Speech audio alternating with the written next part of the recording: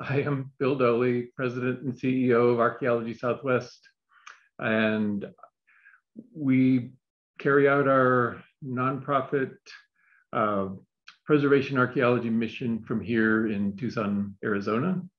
And that's where Linda and I are tonight.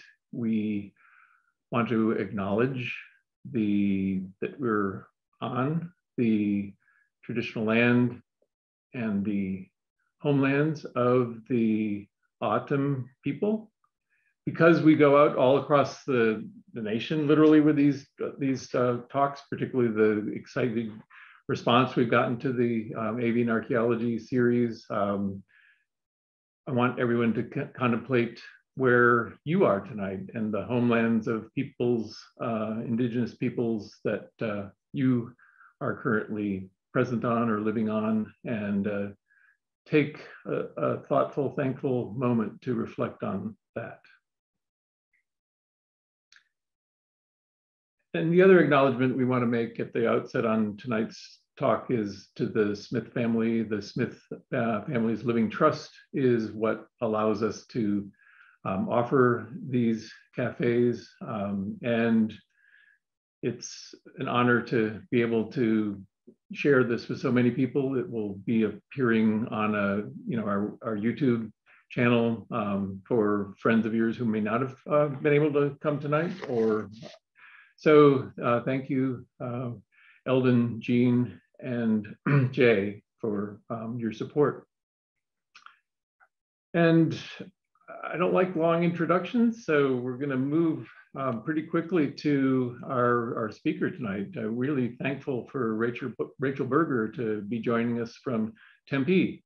She's a senior archaeologist with Logan Simpson. Um, she specializes in uh, tribal consultation and collaboration, has a long-term personal research, um, which she'll be sharing uh, with you tonight on human-animal relationships and, and uh, in particular, and food security in classic period uh, populations of northern New Mexico. So without further ado, Rachel, thank you for joining us tonight. And uh, we're gonna hear about a rafter of burials, Sapawenge turkey interments. It's all yours, Rachel, thanks. Great, thank you, Bill. So thank you everyone, uh, Bill and Linda for the introduction and for the opportunity to speak at the Archaeology Cafe. Um, tonight, I'm going to talk to you about turkeys from Sapawenge, more commonly known as Sapawe, which is an ancestral Tewa Pueblo in northern New Mexico. I'll discuss turkey husbandry at the site and a large interment or burial of several turkeys in a single room, and what this might show us about ritual practices and social institutions that guide them.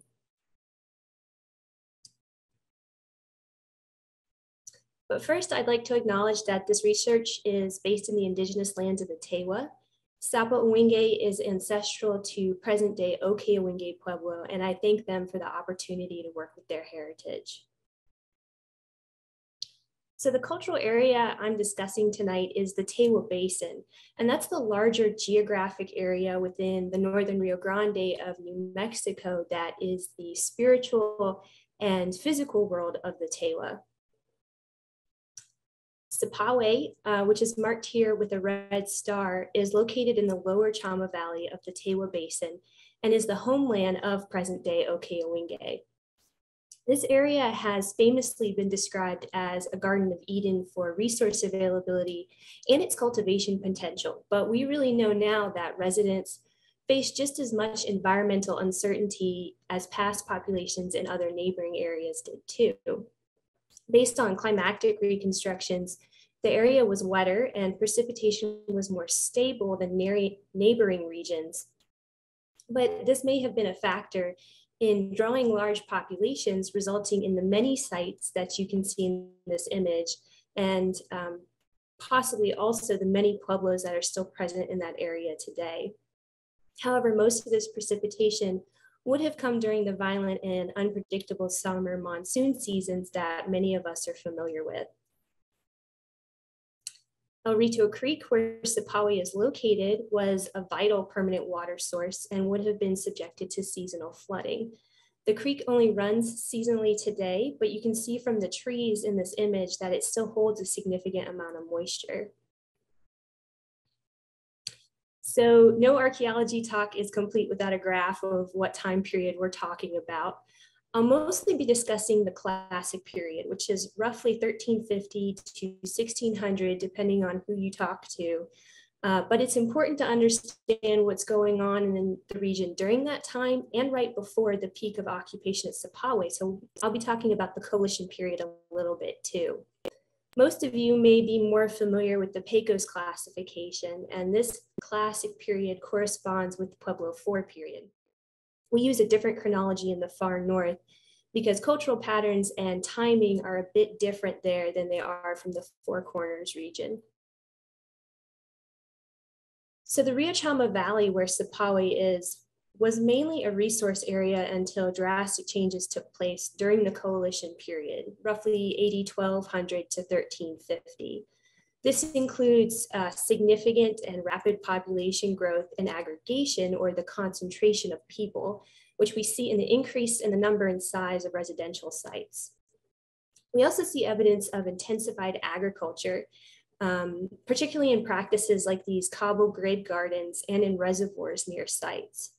We also see regionalization in things like pottery production, suggesting that communities along river drainages were fairly insular.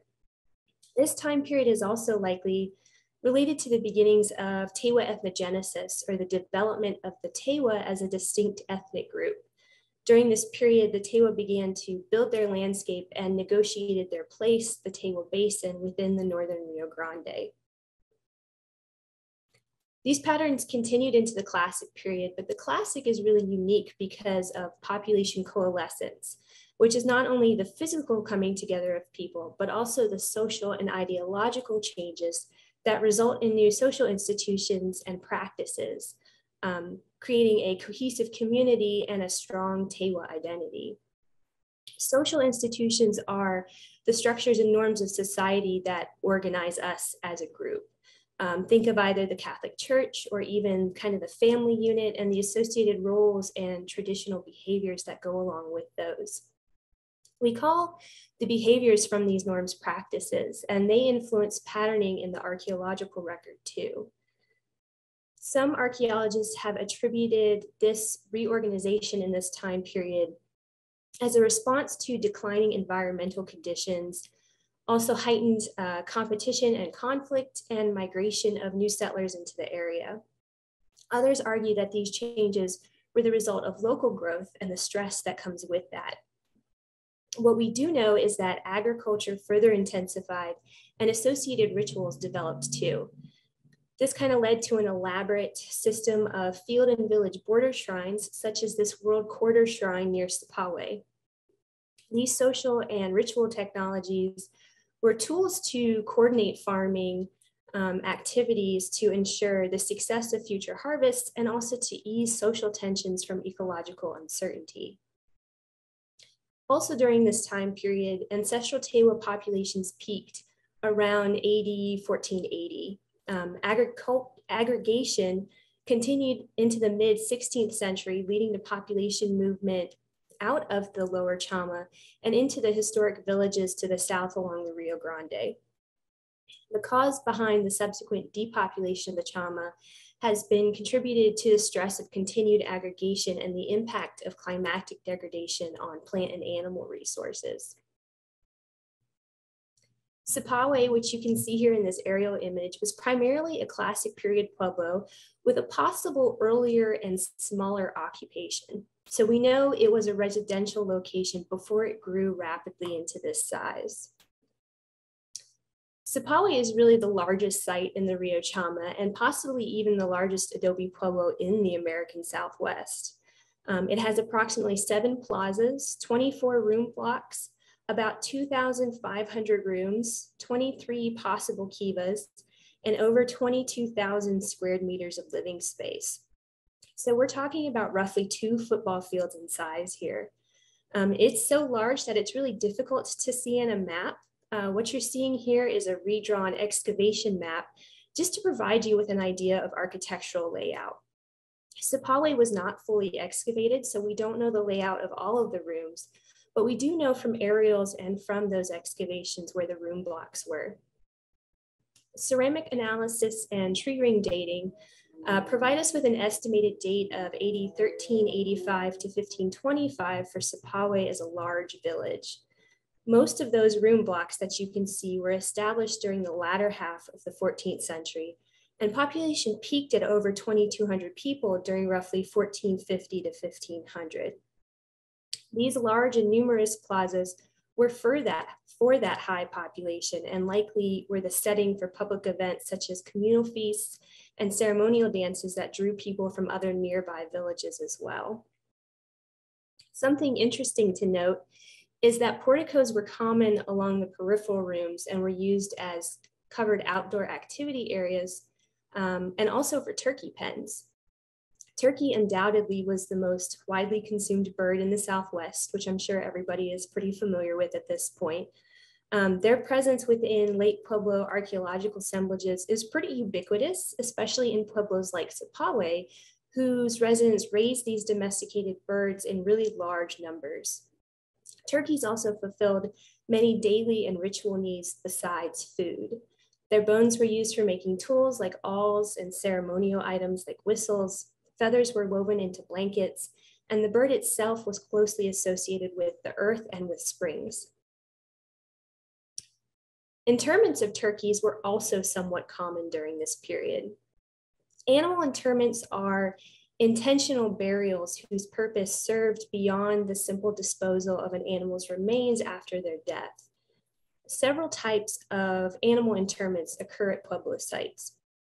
Animal ritual refuse is what remains of an animal after it was processed for its resources, such as feathers, hide, uh, claws, or bone, to produce goods um, and animal refuse is identified archaeologically when animal skeletal remains amass within a location. Dedications are purposeful burials of animals as offerings that serve a purpose, such as room closure. We identify dedications through their context and any accompanying artifacts that may have also had special significance, like pottery, projectile points, or important stones like turquoise hematite and quartz.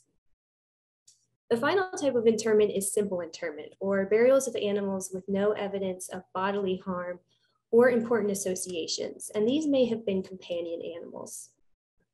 Interestingly, burials of turkeys have a deep history and were geographically widespread, indicating that their burial was a shared practice among Southwestern groups. Bird interments across the Southwest were most prevalent from AD uh, 1000 to 1400, but many different bird species were interred throughout time. We see this at Chaco and also in classic Mimbres sites. In the northern Rio Grande, interred birds were typically birds of prey during this time period, such as the turkey vulture, sparrowhawk, and red-tailed hawks. So turkey interments are really special in this region during this time. So all this background research really led me to three questions. Um, we know that turkeys fulfilled many needs for ancestral Pueblo people, both nutritional and religious, but these can sometimes be difficult to distinguish in the zooarchaeological record or the animal skeletal remains. I wanted to learn if the turkeys at uh, Sapawe and these interments were food trash or if they were something else. If they are interments, what do they reflect? Were they deliberate burials like a dedication, or were they refuse from other ritual activities like harvesting materials? Also, if they're interments, what can they tell us about social institutions? What practices resulted in this pattern, and can we infer, and what can we infer about social rules that the Sapawe residents may have followed?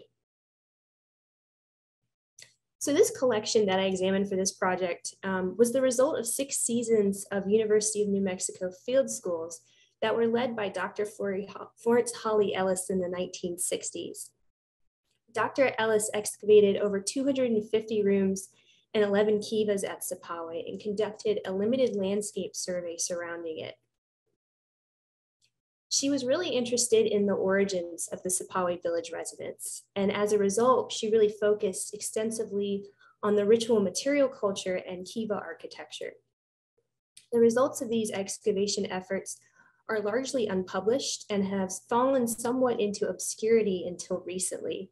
Um, the collection and its archives are now housed at the Maxwell Museum of Anthropology at UNM and recently have been utilized by several archaeologists for research. What this also means is that Sapawe assemblage is what we call a legacy collection or materials from an old archeological project that don't meet our modern standards. For this reason, archaeologists have tended to avoid these assemblages, but there are now established methods to work through these issues, and these collections really have a lot to give. Um, for this project, I worked a lot with the archives, especially the student notes, to fill in missing data about the animal skeletal assemblage and especially these turkeys. So it's also important to talk about kind of the general occurrence and use of turkey at Sapawe, especially the evidence for turkey husbandry, so that we can understand context for Sapawe turkey interments. Of the 14,000 bone specimens analyzed, nearly one third of the total assemblage was turkey and large bird, and most of those skeletal remains were actually food trash. This high number could be due to human population growth, and it could also be um, the result of a decrease in local wild game because of uh, increased demand on the surrounding environment. And this would have necessitated an increase in animal protein production, in this case, turkey, within the village.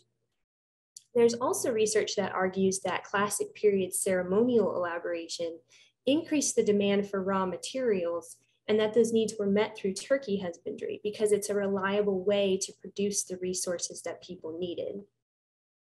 Either way, there's other evidence that turkeys were vital at Sapawe besides their large numbers, and that num evidence is the extensive turkey husbandry. The primary evidence is penning. Penning is identified archaeologically by accumulations of turkey dung, gizzard stones, eggshell, and baby birds within outdoor enclosures or indoor rooms. 31 of those 250 excavated rooms ended up being turkey pens at some point. Uh, these rooms were located in almost all of the plazas and time periods and really ranged in size. And so what this indicates is that turkey husbandry was a community-wide practice that really varied in intensity, with larger rooms being able to accommodate bigger rafters of turkeys. A lot of time and resources would have been necessary to raise that many birds to harvesting age, whether they were for food or for something else like feathers. And dogs are known to attack turkeys and are especially dangerous to young birds that can't fly or defend themselves.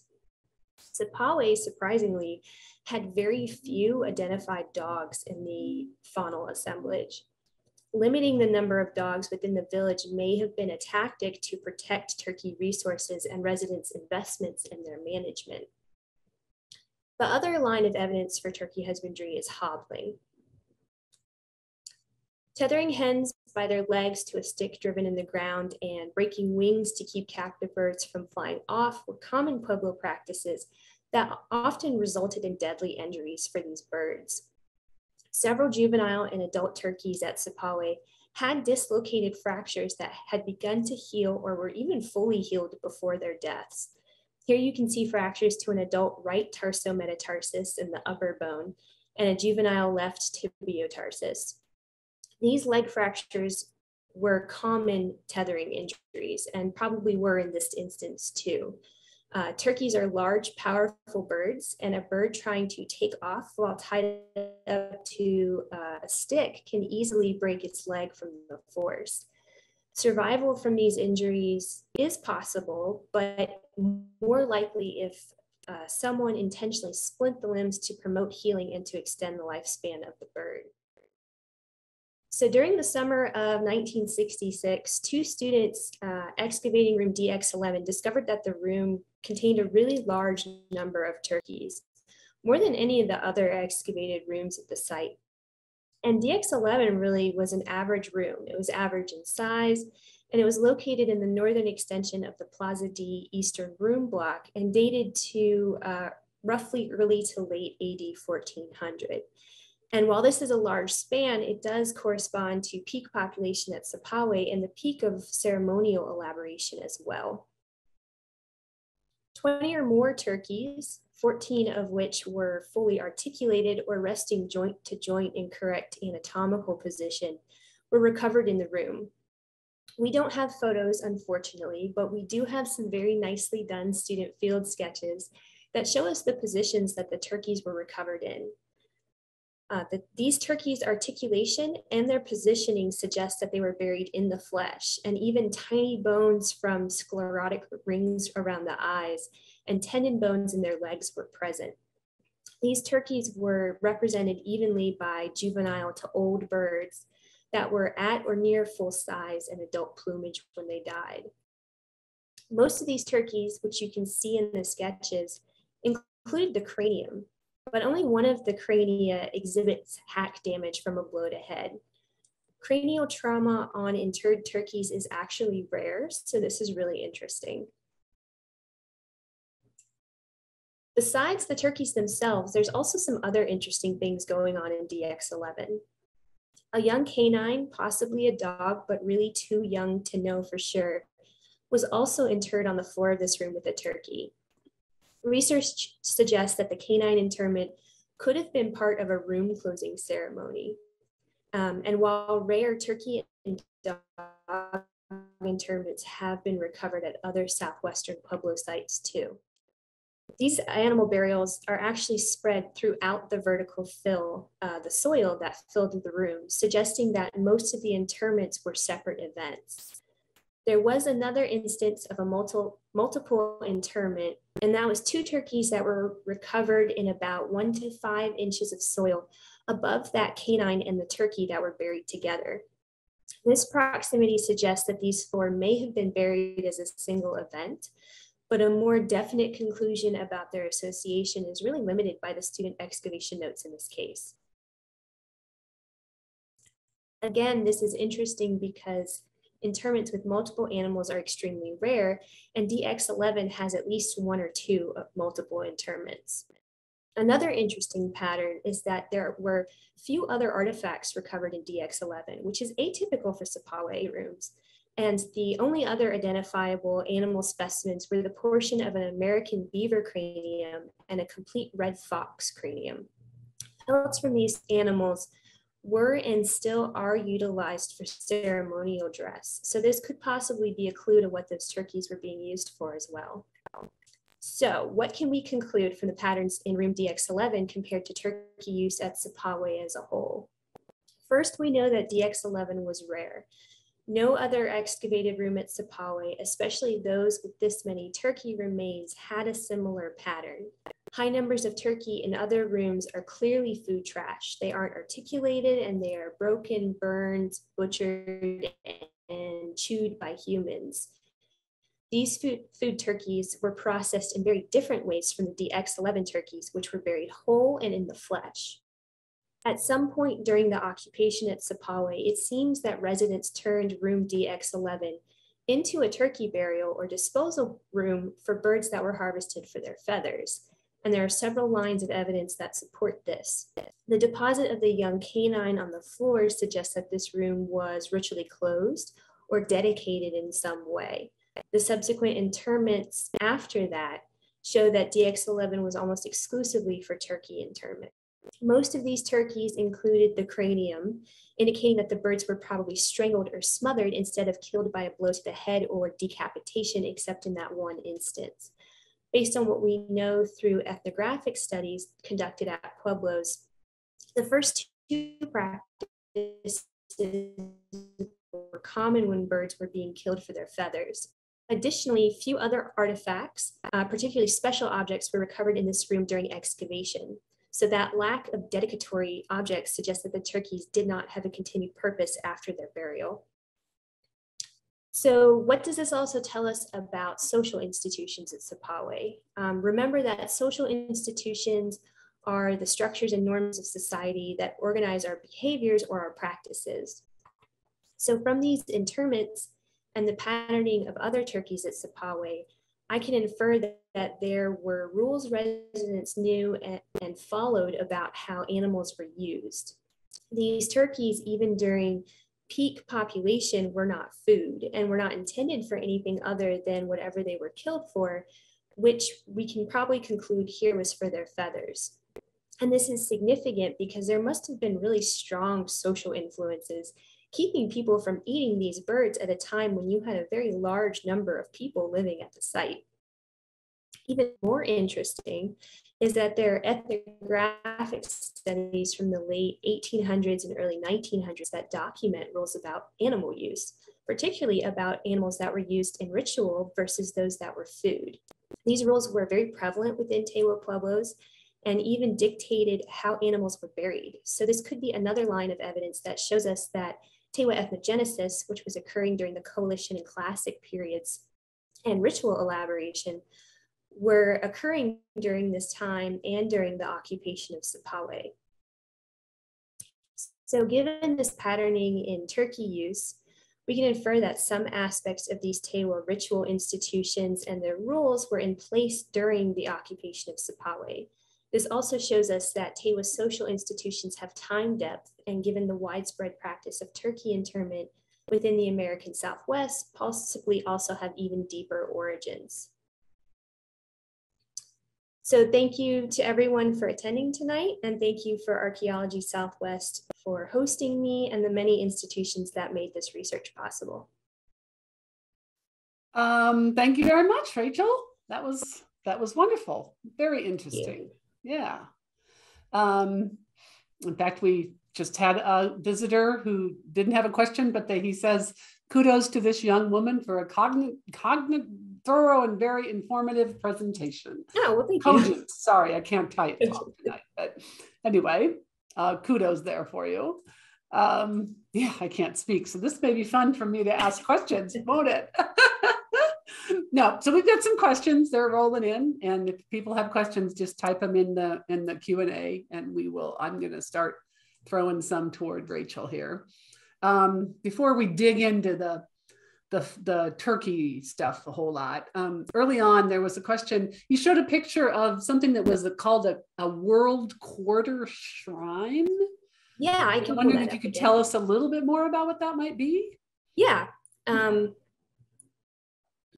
so we call them world quarter shrines, but uh, that's probably what, not what they really are. So the um, this image, it's really hard to capture how big these are.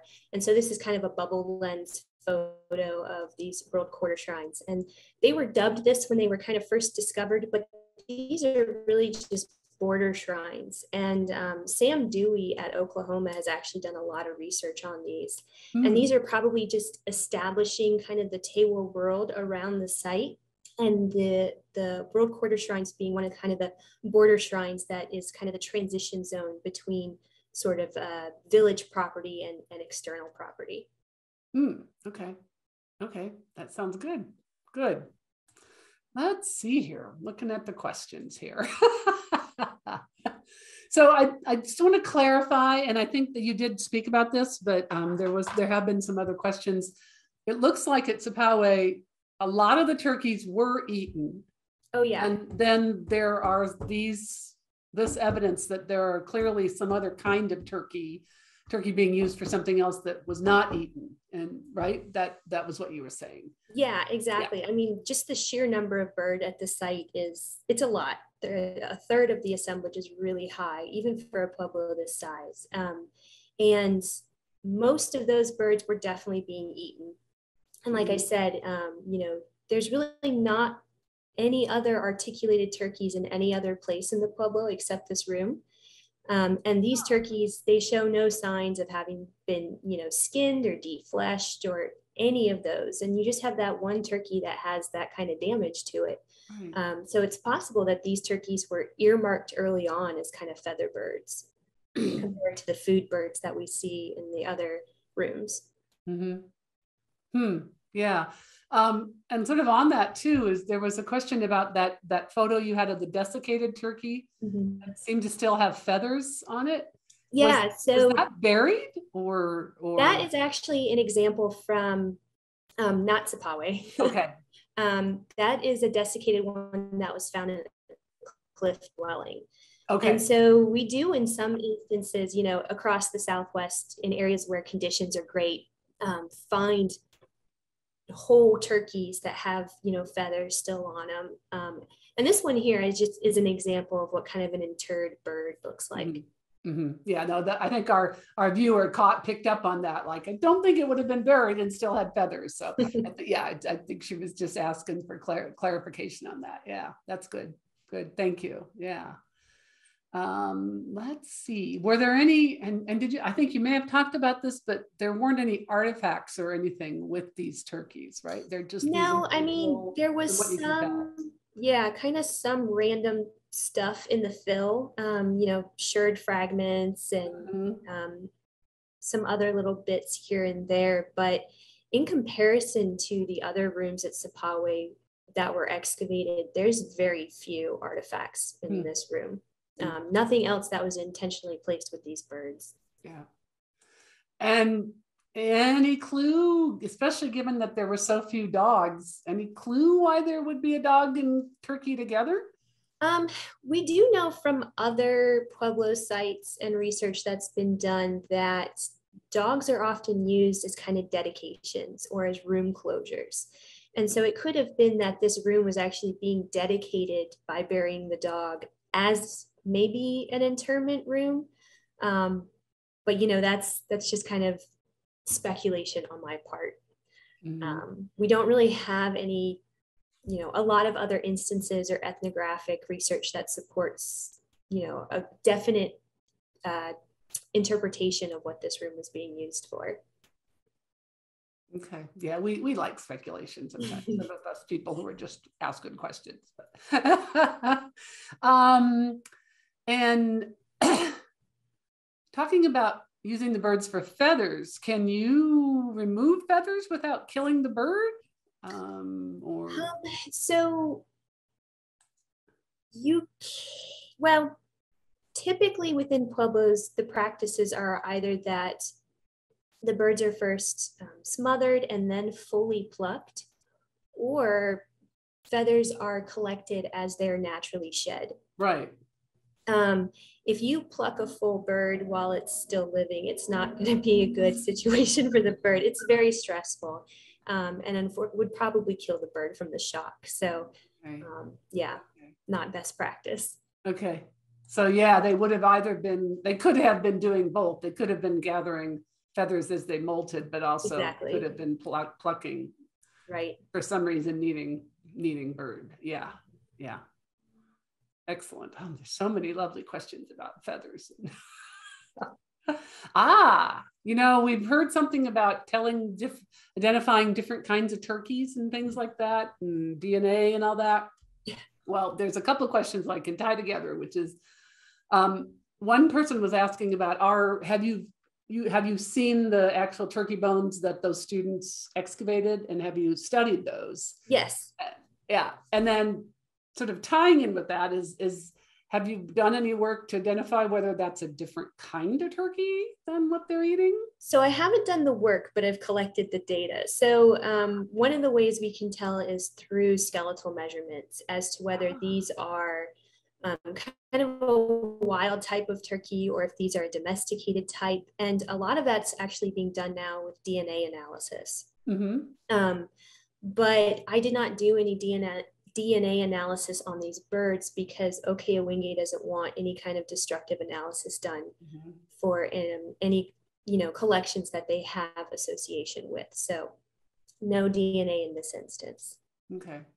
But you think you could get at it from measurements potentially? Yeah, you could do some of it from measurements. Um, not with the juvenile birds though. Yeah. So there's very few birds at Sapawe where the correct bones are present to do those kind of analyses. Mm-hmm. Mm-hmm. Yeah. Yeah. Well, there's been a couple questions. I think it could be interesting to chat about that for a little bit, and we can go back to turkeys in a bit. But um, folk are sort of interested in um, understanding more about um, what kind of information gaps um, are, are in these kinds of legacy collections, this historical digs? What are some of the challenges of using those kinds of collections? Yeah, that's a really great, great question, actually. Um, one of the big things that is kind of a uh, pitfall to using this collection is that it was dug in the 60s and standards at that time for excavations were very different. And Dr. Ellis and her students did not screen any of the soil that they excavated. And so there's a definite bias in this collection against small bones, small animals, and small birds too. Mm-hmm. Um, so that kind of does skew the numbers quite a bit. But um, there are ways to kind of get around that statistically. So a lot of the analyses that I did uh, tried to address some of those issues. And then the archival research is also a great way to get around some of those problems. Um, these legacy collections, because they tend to be in original excavation bags and were never inventoried, um, the bags themselves are missing a lot of information. So it can be hard, you know, you have a bag of bone and you're like, oh, it says, you know, it's from room DX11, but it doesn't say which level it's from. But I have the date on the bag. So I can go back to the student notes and find the date, and they'll be like, you know, July 12th, we started and finished level 10. And so that's kind of another way to fill in those bits and pieces. Um, and so this project was really, you know, half animal skeletal analysis and half archives research, trying to piece together all that information. Is there um, is there other research being done on the Sapawe collections? Yeah, um, there is a student. Um, well, she graduated with her master's several years ago, who did the ceramics mm. and looked at kind of a, a, ceramic type specific to that region, and then. Uh, there have been other students at University of New Mexico who um, looked at some of the faunal stuff. Um, Laura Steele looked at some of the the fauna from different rooms, and then um, Jonathan Dombrowski looked at some of the flutes and whistles. Um, and then uh, there's something I'm forgetting. I mean, uh, this Sapawe's also been used for a lot of bigger studies too over the years, looking at ceramic types. Um, yeah. Mm-hmm. Yeah. Yeah. Excellent. No, I mean we like we like uh, I, like we like to, I like to see you know work being done on legacy collections. Um, part of our preservation archaeology mission is is the uh, the idea that there's still a lot to be learned in those collections sitting on shelves and exactly and you know it's a way for us to look at you know big data sapawe gives us big data mm-hmm. um, in a way that's not more destructive because we're not excavating new sites mm-hmm. Um, did did you speak with the uh, folk from Ohkay Owingeh? Did was there any reaction from them to what you learned or what you were doing? So they're aware of the project, um, and for various reasons, I haven't been up there to present any of this, mostly COVID. Mm-hmm. Um, but that's something I hope to do in the future. Yeah, yeah, yeah. That that's what I figured. Yeah, yeah. Excellent. Thank you. Thank you. Has there been any, here's one, has there any similar work done at the other nearby sites up there? Like what, Tsama? And what's the other one? Um, so Scott Ortman and his students have been doing some work up there and um, there are no new excavations going on in that region.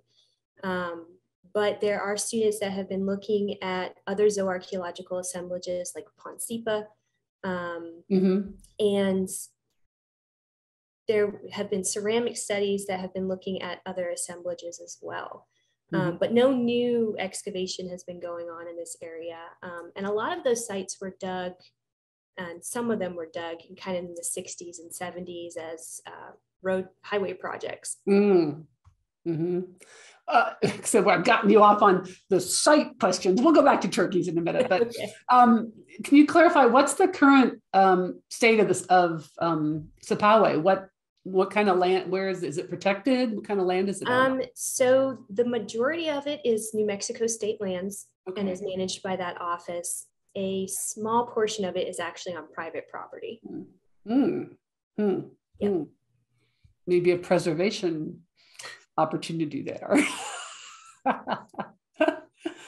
um Somebody wants to know about that ceramic bird effigy that you showed us at the end. Oh, yeah. Um, it has a deliberate hole in it, um, right? Do you have any idea what that is? Does have, yeah. Um, I don't. You know, it. This is from the Sapawe collection. Okay. Um, I mean, it it could have been tied to a number of things, mm-hmm. and I don't know if anybody's actually looked at this to try to provide some interpretations for what it may have been. Hmm. Hmm. No, can't hurt to ask. um, is it common for Pueblo Four villages to have rooms used exclusively for animal interments, like at Sapawe? Is is that happen in other villages? Do you know? Um. So first, to clarify, that room was probably not built to be a interment room. Mm-hmm. So it was probably habitation or storage at some point, and then once people kind of moved out of that portion of the village, it may have been dedicated as an interment room. Um, in the reading that I've done, I've not been able to find evidence that there was something similar at this scale at other pueblos. There's certainly other instances of turkey interments with multiple turkeys in a room, but not, you know, 20 plus birds in one space. Which is really interesting. Yeah. yeah. Um, do you have do you have any idea? I mean, what do you know about turkeys in in history in general? Um, do you know any any idea about how the use of turkeys like this compares to like turkeys in other parts of the U.S., like the east eastern turkeys, or you know something outside of the Southwest? Yeah, you know, I'm really not familiar with besides food what possible ritual uses of turkeys outside of the Southwest could have been. Mm. There is some really cool research coming out of the Eastern US about turkeys and possible um, turkey husbandry out there. But I don't know if anybody's really been looking beyond that for, you know, non-food uses. Um, I'm sure it exists. I'm just not aware of it. Hmm. Hmm. Okay. Well, we're always interested in turkeys. So yeah. And I know you touched on this a little, but do you have anything more specific about like the specific ages and sexes of your turkeys that were interned? Right. So, um, one or two of the turkeys in the room, I'm trying to remember off the top of my head, were definitely male. And that's because one of the leg bones kind of had that um, spur on it that the gobblers tend to have. Um, However, that can also be a difficult metric to use to distinguish sex because some female turkeys also have that spur. And so there's kind of a back and forth about whether, you know, does the size of the spur indicate if it's male versus female? Um, and then as far as age goes, the majority of them were either kind of young adults, so not, you know, fully adults, but had reached sexual maturity as far as, you know, turkey age goes um, evenly split between kind of juvenile, young adult, and adult. And then there was one turkey that was pretty old. Hmm. And and but most of them were, you know, younger than that. Hmm. Hmm. Hmm. Okay, thank you. Thank you. And from what you can tell from the notes, and this may be hard, but from what you can tell, they did not select this room because they thought that there were turkeys interned in there or anything. This was just a room they were exploring and yeah so the way um, ellis excavated this site and i'll go back to the photo to show you an example is they came with a bulldozer and just scraped off the top surface to expose the tops of the rooms and that's how they knew where they were going to excavate for that summer. So when she dug these rooms she just picked you know a room block and they just cleared them out completely as you can see in this photo um, so she didn't choose this room specifically, but she did choose that portion of Sapawe that summer because she was trying to get kind of a chunk of rooms from all across the Pueblo. Um, and she was out there for a total of seven summers. Big project. So, how much do you know about the care of turkeys? Because we've had a couple people asking about how hard is it to take care of a turkey. Just yeah, how much work I, I is know, involved. Yeah, I know a somewhat decent amount about it. Um, that's kind of another side project I'm working on. Ah, okay. This might have been a plant question then. It may have been. Not for me, but but we're interested. We'd like to know more about how hard it is to care for a turkey. Yeah. So, um, gosh, where to start? Um, you know, one of the things about turkeys is that they need fresh water. And oftentimes they will not drink from like stagnant water. And so Sapawe being close to the El Rito Creek is actually really interesting because it would have been easy for people taking care of their turkeys to go and get water for these birds. Um, they're called obligate drinkers. They don't get enough water from their food every day, so they have to supplement with fresh water. So that's really important. Um, the other thing that's important is that sickly turkeys do not lay eggs. So um, we know that these birds are laying eggs because we do find a lot of eggshell in the collection, and we find a lot of baby turkeys too. And for a hen to be able to lay, she needs to have a certain amount of calcium during the laying season. And one of the interesting things is that if these turkeys, let's say, were being supplemented with corn, which is, you know, one of the big research things that's going on right now is um, looking at stable isotopes in the bones and being able to see that they were feeding these turkeys corn, a hen would not have been getting enough calcium from corn to be able to lay eggs. And so they would have had to let these turkeys forage uh, for other, you know, wild resources that they were used to eating to get all the nutrients they needed. And so taking care of these birds was probably somebody's full-time job. Um, and because they're distributed so widely across the Pueblo, what we're probably seeing is different family groups taking care of their own birds. Um, so a lot of time by each family and resources probably being invested taking care of these birds, um, trying to get them to a mature enough age for whatever they were harvesting them for. Um, the nice thing about you know raising young turkeys is they tend to stay very close to their mother and so if you have like a hen, you know, tethered in uh, an outdoor plaza area, all the poults, the baby turkeys will stay close. So that makes it a little bit easier to kind of wrangle the birds around. No, thank you. That's very interesting. Very interesting. Yeah. Um, a few more questions, but we're getting to the end of them actually. Um, one question more about if you've got any more diet um, analysis. I don't know if, yeah, but what were the food birds found in rooms or in trash middens, or is that one and the same?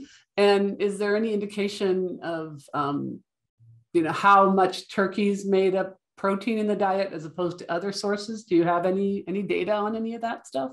Yeah, I do have data on that. So um, the first part of the question, the these rooms are filled with trash, and that is how um, people were kind of disposing of everything. Was just you know either throwing it into empty mm-hmm. rooms or it had blown into empty rooms at some point. So um, yeah that they're kind of one and the same in this instance. Um, as far as how much the turkeys are being relied upon for residents for food that really shifts through time. And so when Sapawe is first established we actually see a very high number of turkeys, which is surprising because you think that you would see the turkeys peak kind of when the people peak. And um, what I think was going on is actually when a whole bunch of people were aggregating at Sapawe to live together, they were probably bringing turkeys they already had with them.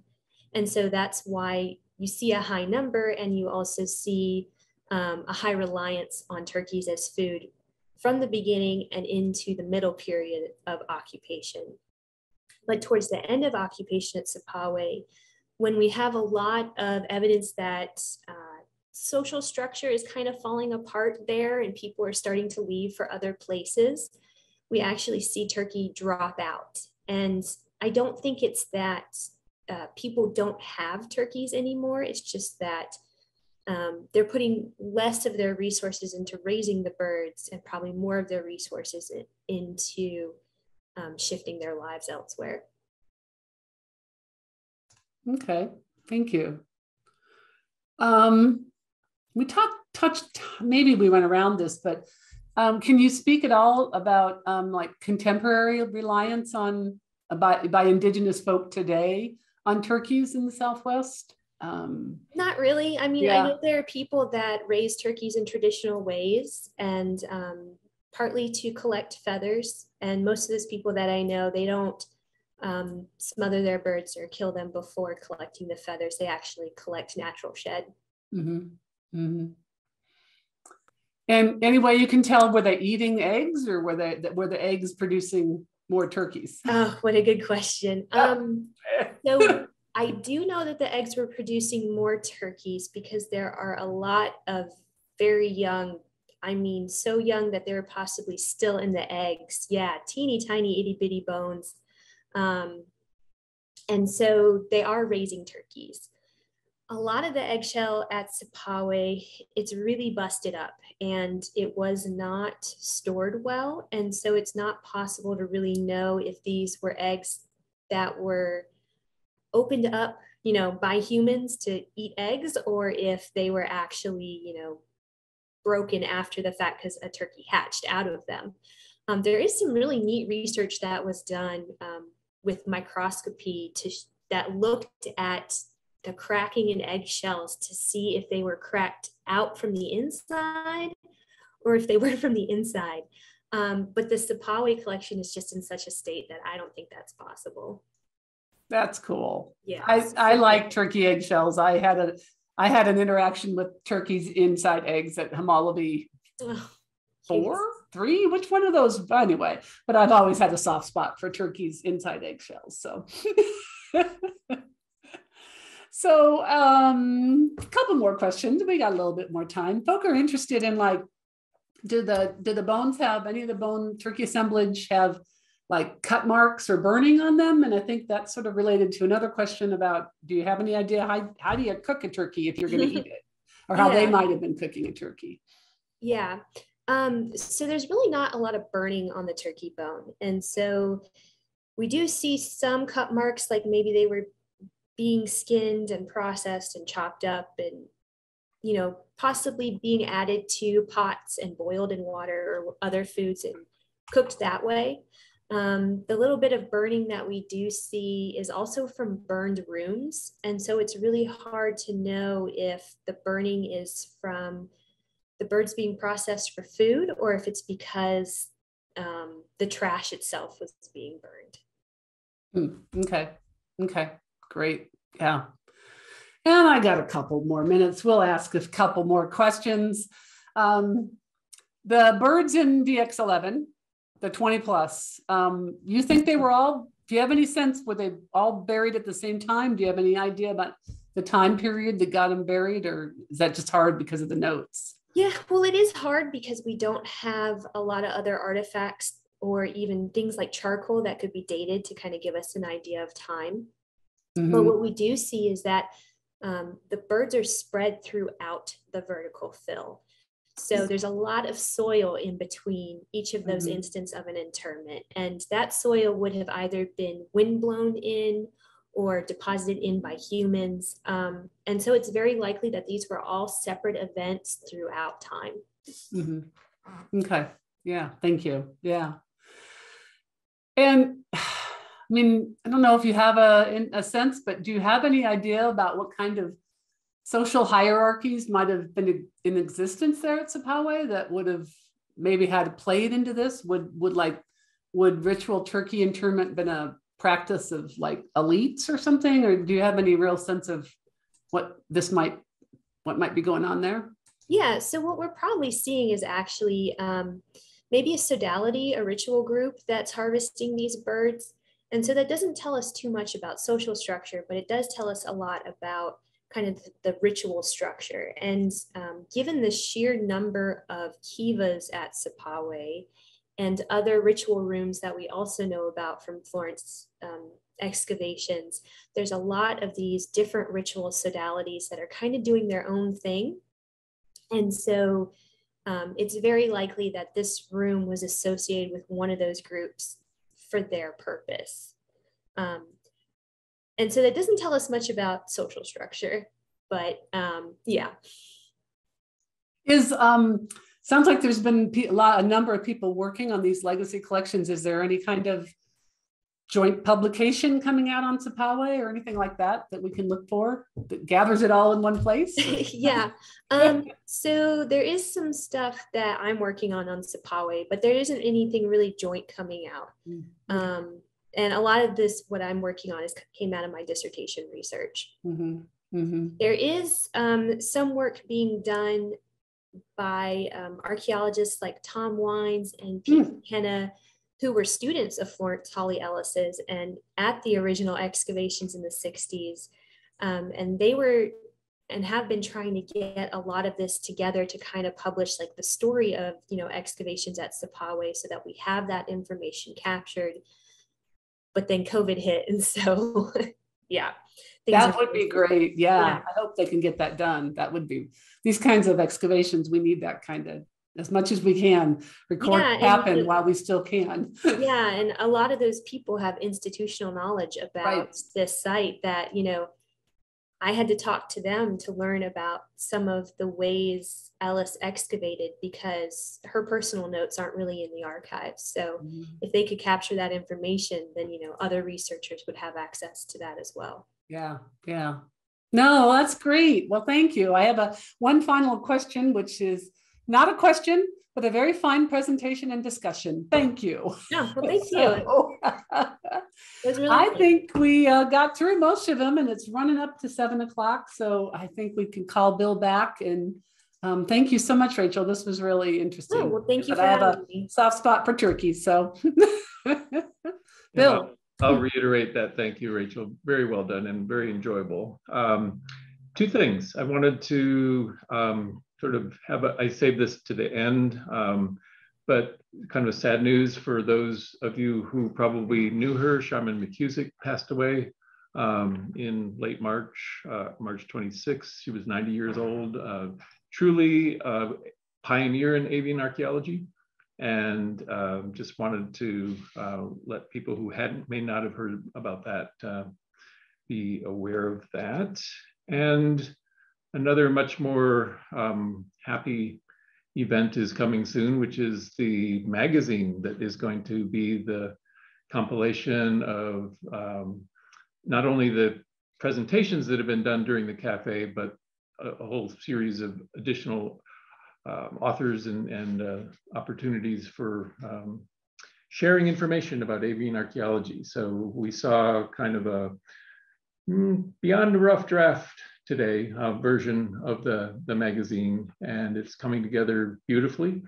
And I would hope that um, at the time of our final number eight um, of our avian archaeology cafes, which is going to be held on the first Tuesday in May again, May 3rd this time, where um, we'll give you an update on, on the status of that um, magazine issue. It's going to be about 60 pages long and beautiful. Um, so that next uh, talk on May 3rd is going to be by Christopher Schwartz, Patricia Gilman, and Stephen Plog. And they'll be talking about birds of the sun, macaws, parrots, and people. So please plan to join us then, and uh, we'll get you the details on how to get this magnificent magazine that's coming up, out soon. So Thank you so much, Rachel. Really appreciate it. No, thank you. It's been it's been really fun. Great. Thanks for everyone who joined us tonight.